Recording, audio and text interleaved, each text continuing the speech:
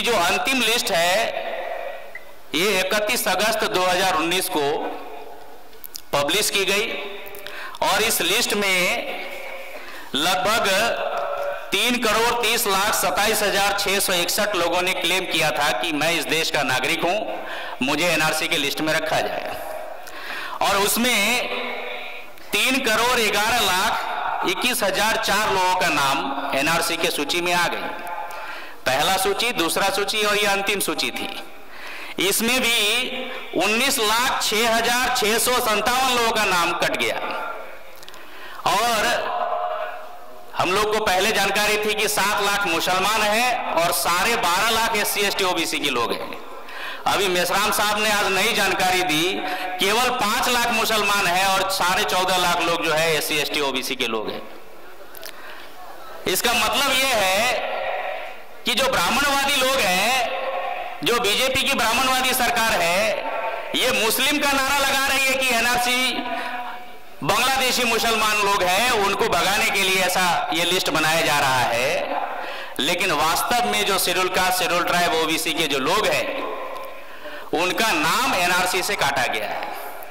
Even Assam में जो मुसलमान लोग हैं, ये मुसलमान लोगों का जो नाम काटा मुसलमान लोग भी मूल भारत के रहने वाले लोग हैं।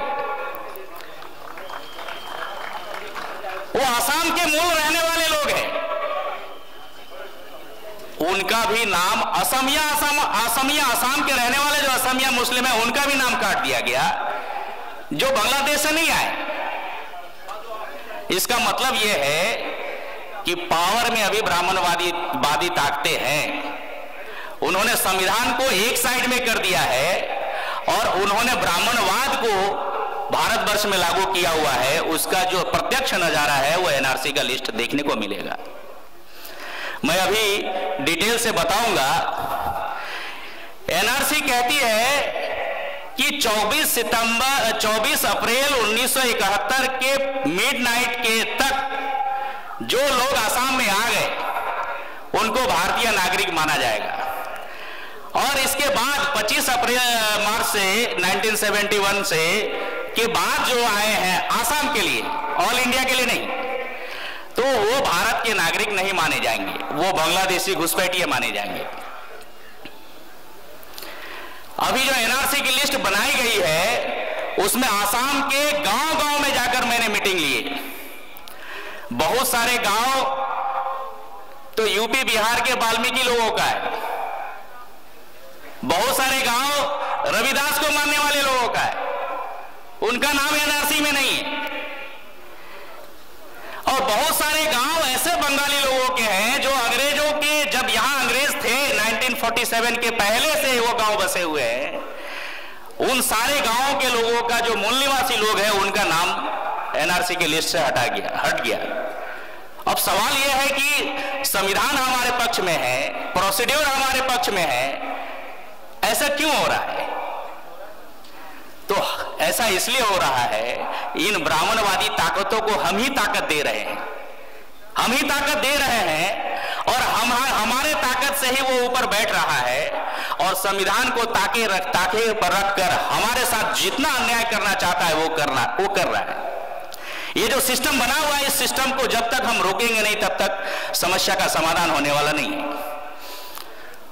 उनको ऊपर से उतारना ही पड़ेगा, किसी भी कीमत पर उतारना पड़ेगा। और जो ताकत हम लोग दे रहे हैं किसी भी कीमत से, किसी भी तरीके से, वो ताकत का, वो जो ताकत का फ्लो है, उसको रोकना पड़ेगा। तीन परसेंट ब्राह्मण हमारे ऊपर हावी है। ये एनआरसी का मुद्दा अभी नहीं है, अभी से नहीं है।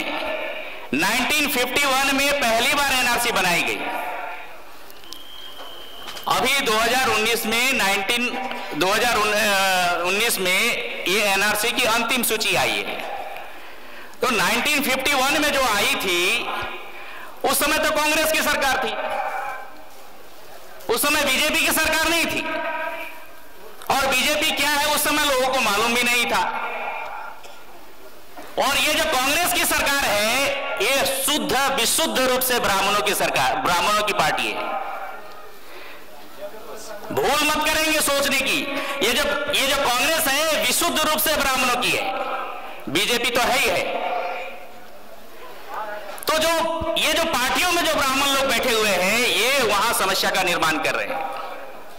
और हमारे लोग उन्हीं पार्टियों को ताकत देकर हमारे ऊपर ही अन्याय अत्याचार करने का लाइसेंस दे रहे हैं। ये लाइसेंस को बंद करना होगा। और ये लाइसेंस कब बंद होगा?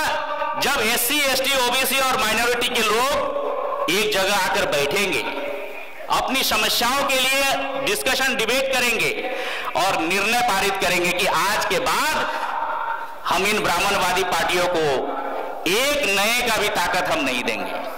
उस दिन भारत की तकदीर बदल जाएगी। साथियों, आसाम में जितने भी रहने वाले जो लोग हैं आज के तारीख में मैंने बहुत सारे गाँवों में घूमा। इवन मेरा जो जन्म है, वो जन्म भी आसाम का है। पढ़ाई लिखाई भी मेरी मेट्रिकुलेशन तक आसाम में हुई। हायर एजुकेशन के लिए मैं बिहार चला आया। मेरे चिंतन में भी, मेरे असमिया अभी बसा हुआ है। ऐसा नहीं है कि मैं बिहार का हूँ और जन्म से आसाम का हूँ तो मैं बिहारी हूँ। ऐसा नहीं है। जन्म से भी, चिंतन में भी और व्यवहार में भी, संस्कार में भी आसाम का जो है, वो है मेरे पास। वो रिफ्लेक्ट होता है हमेशा।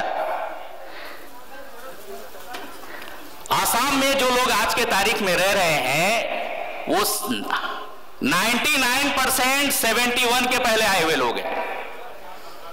99 परसेंट और बहुत सारे ऐसे लोग हैं, जो आज़ादी के पहले आकर गाँव के गाँव बस गए। 1828 में आसाम स्टेट पहली बार ब्रिटिश इंडिया के कब्जे में आया। 1828 में पहली बार ब्रिटिश इंडिया के कब्जे में आया और अठारह में पहला टी गार्डन ब्रिटिश के द्वारा स्टैब्लिश की गई। पहली बार। और जो टी गार्डन स्टैब्लिश की गई, उस टी गार्डन में काम करने वाले जो लेबर है वो लेबर को कहाँ से उठाया? बिहार के आदिवासी के जंगल से, संथाल परगना के जंगल से, छोटा नागपुर के जंगल से, और बहुत सारे छत्तीसगढ़ के जो सतनामी लोग हैं, जानते हैं, उन लोगों को उठाकर अंग्रेज़ आसाम में लेकर गए। यहाँ से माइग्रेशन शुरू हुआ। और वो लोग चाय बागान में अपने आप चाय बागान नहीं आ गई। आसाम जंगल से भरा हुआ देश है, प्रदेश है, और जंगल को काट काट कर हमारे मूल निवासियों ने चाय की बगान लगाई। अठारह से बता रहा हूँ, और अठारह से इतनी जंगल, बिहार जंगल में जो जंगली जानवर रहते हैं, उनको काटकर चाय बगान स्टेब्लिश किया। आज उन आदिवासी लोगों का स्थिति क्या है, मालूम है? आज उनको टी ट्राइब के नाम से जाना जाता है। और ये टी ट्राइब के लोगों को आज के तारीख में जो चाय बागान में काम करने वाले लोग हैं, उनके अपने नाम पर एक इंच की भी ज़मीन नहीं है। क्योंकि वो सब, वो सारे के सारे टी गार्डन के स्टेट में काम करने वाले लोग हैं तो वो स्टेट के लोग उनको क्वार्टर बनाकर दी हुई है। उसमें रह रहे हैं, उनके नाम पर एक इंच की ज़मीन भी नहीं है। 1939 से 1839 से रह रहे हैं। इसके बाद जब कम्युनिकेशन का बहाव हुआ तो स्टीमर ब्रह्मपुत्र और गंगा की नदियों में अंग्रेज़ों ने चलाई। एक स्टीमर इलाहाबाद तक आती थी और एक स्टीमर ब्रह्मपुत्र नदी से होते हुए सीधे बराक वैली में और ब्रह्मपुत्र वैली में जाती थी। तो ऐसे स्टीमर में बहुत सारे लोग आज़ादी के पहले अंग्रेज़ों के जमाने में बंगाल में रहने वाले जो एस सी ओबीसी और माइनॉरिटी के लोग थे, वो लोगों का माइग्रेशन हुआ आसाम में। आज़ादी के पहले, और वो भी मजबूरी थी। क्या मजबूरी थी? कि बंगाल में नील विद्रोह हुआ, और बहुत सारे विद्रोह हुए। और जो जमींदारी प्रथा बंगाल में जो आई, इसके कारण उनका जीना मुश्किल हो गया। तो अपने परिवार के बचाने के तलाश में वो आसाम के जंगलों में गए। और आसाम के लोगों ने उनको गले लगाकर वेलकम किया। जो वहाँ के मूल निवासी लोग हैं, आसाम के लोग, गले लगाकर उनका वेलकम किया कि ऐसा करो, यहाँ की ज़मीन तुम काट लो और खेती करो, रहो यहाँ। उन लोगों ने स्टैब्लिश करवाया। और बड़े पैमाने पर आज़ादी के पहले बहुत सारे गाँव बंगाल से गए हुए, जो उस समय इंडिया थी, वहाँ के गए हुए लोग वहाँ पर स्टेब्लिश हो गए। गाँव के गाँव स्टेब्लिश हो गए। और इस तरह से बड़े पैमाने पर वहाँ पर बहुत सारे स्टेट से, बिहार से, पंजाब से, आप पंजाब के इतिहास आप नहीं जानते। जब मान सिंह आसाम पर आक्रमण करने के लिए जब गया तो उस समय अहोम का शासन था। और अहोम का शासन होने के साथ साथ अहोम के जो सेनापति थे, उन्होंने ब्रह्मपुत्र की नदी पर, आज की जो गुवाहाटी है, वहाँ पर ब्रह्मपुत्र में सराय घाट एक जगह है, जहाँ पर आज वो पुल बनी हुई है, इस पार से उस पार जाने के लिए। वो सराय घाट का जो युद्ध है, उस युद्ध में नदी के अंदर में, पानी के अंदर में युद्ध हुआ, मान सिंह को रोकने के लिए। और उस समय के ओम राजा ने पंजाब किया कि हमारे ऊपर आक्रमण हुआ है, हमें 500 सैनिक दिया जाए। उस जमाने की बात कर रहा हूँ। और वहाँ पंजाब के राजा ने लंबे चौड़े 500 सैनिक उधर भेजा उन्होंने, और उस सराय के घाट के युद्ध के मैदान में मानसिंह को परास्त करने का काम किया। और वो 500 सैनिक असम में बस गए। मेरा एक रिलेटिव है तिनसुकिया डिस्ट्रिक्ट में। आपको सुनकर आश्चर्य होगा वो मूल रहने वाले हैं अंबेडकर नगर यूपी के। हमारे रिलेटिव है। उनका फैमिली ढाई सौ साल पहले उधर गया। एक दो सौ साल नहीं, ढाई सौ साल पहले गए। और बहुत सारे लोग जो बर्मा में थे, जब देश आज़ाद हुआ तो बर्मा भी अलग हो गया तो बहुत सारे लोग उधर से जब बर्मा से आए तो आसाम में चले गए। आसाम में स्टेब्लिश हो गए, आज़ादी के समय। और आज भी उनका परिवार उधर ही है। उनका भी नाम एनआरसी के लिस्ट से गायब है। डॉक्यूमेंट होने के बावजूद, ऐसा नहीं है कि डॉक्यूमेंट उनके पास नहीं है। डॉक्यूमेंट है, उसके बावजूद भी उनका नाम एनआरसी के लिस्ट से गायब है। हमारे मामा जी जो रहते हैं तिनसुकिया में, उनका सेकेंड लिस्ट से नाम गायब था। अब थर्ड लिस्ट में बिहार गए और बिहार में जो जाने से पहले जो मिश्राम साहब ने जो 5 सितंबर को जो कार्यक्रम किया, वहाँ गुवाहाटी में गए और इस मुद्दे को उठाया कि बांग्लादेश में रहने वाले लोग बांग्लादेशी हो सकते हैं, लेकिन बिहार और पंजाब और उत्तर प्रदेश में रहने वाले लोग बांग्लादेशी कैसे हो सकते?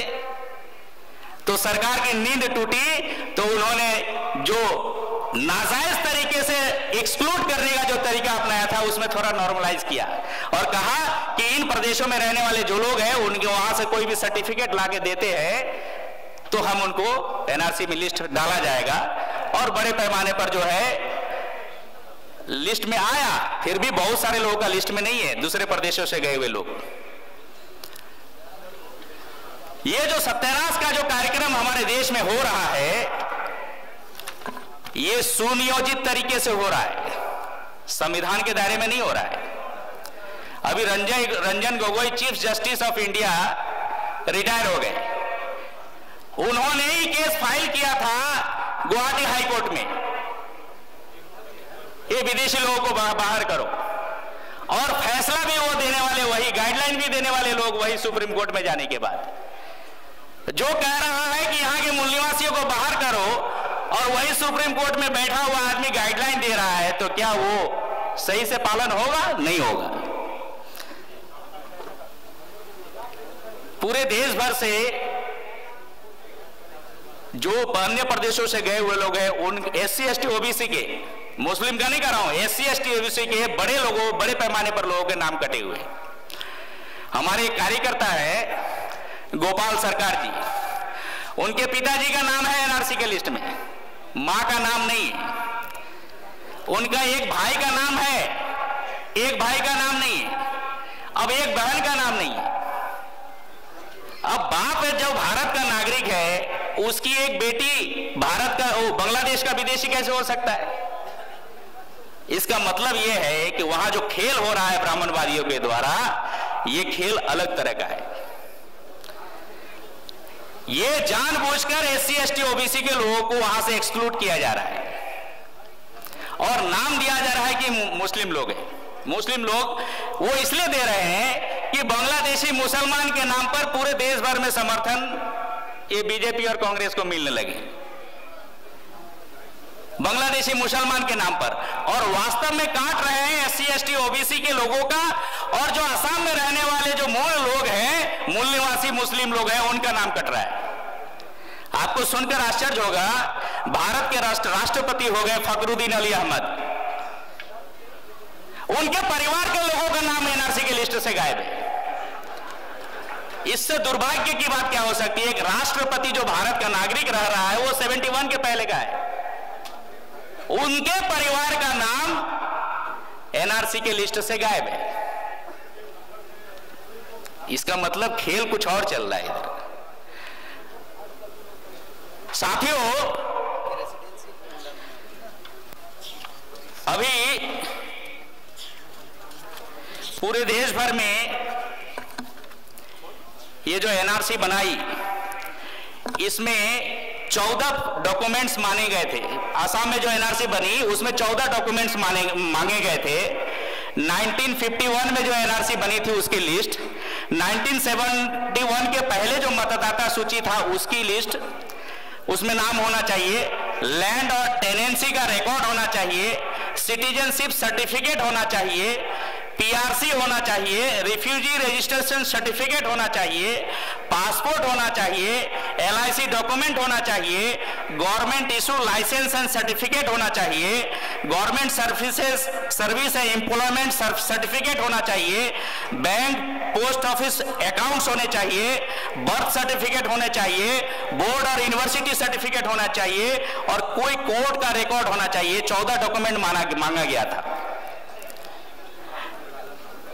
हमारे S C S T OBC के बहुत सारे लोगों के पास सिटीजनशिप सर्टिफिकेट था।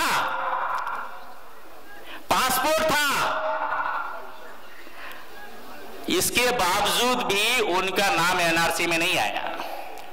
इसका मतलब जानबूझ के किया। और मैक्सिमम परिवार में से एक या दो एस सी ओबीसी के लोगों का नाम काट दिया है। अब आने वाले समय में यदि ब्राह्मणवादी व्यवस्था ज़्यादा मज़बूत हो गई वो लोग क्या करेंगे कि ये एनआरसी में तुम्हारा एक आदमी विदेशी है, चलो तुम्हारा पूरा का पूरा परिवार विदेशी है। ऐसा घोषित कर देंगे तो क्या करेंगे कर सकते हैं। सर्टिफिकेट जब मान नहीं रहेंगे तो आप मान नहीं रहे तो उस बाद में भी नहीं मानेंगे।